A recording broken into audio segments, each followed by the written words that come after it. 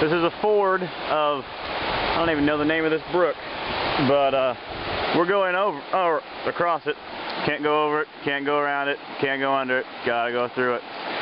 Stubbs has their shorts all daisy duked up. I don't know if you can even see, but it's almost up to her shorts. And um, it's probably 50 to 75 feet across, and she's in the deepest point right now.